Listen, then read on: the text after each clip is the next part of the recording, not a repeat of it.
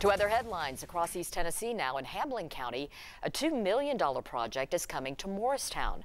The money comes from Tennessee's Historic Development Grant. The goal of this investment is to renovate and preserve five historic buildings in the city's downtown.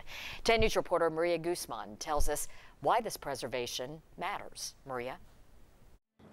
Bigger, better, and newer. Those are just some of the words the city leaders and business owners are describing the investments coming here to Morristown.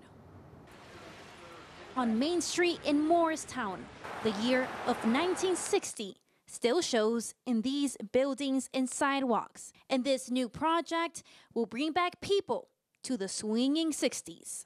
And since 1967, we've all had somebody come up to us and say, oh yeah, Morristown, you got those overhead sidewalks. They call this type of development historic preservation. It will turn this 1900s appliance warehouse building into new apartments, all while keeping its Art Deco style. Bringing this kind of grant money is actually bringing the 21st century to a 19th century development. Five different sites in the Skymart will receive a $400,000 transformation. For business owners like Randy DeBoard, leaders hope these changes will bring more people to town. This effort will drive more people downtown and create an ongoing economic platform that will pay dividends for years and generations to come.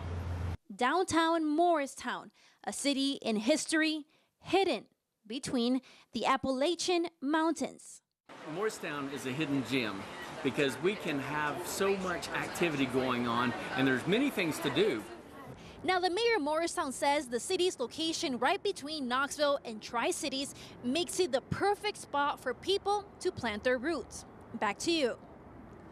Maria, thank you very much. And that restoration is underway.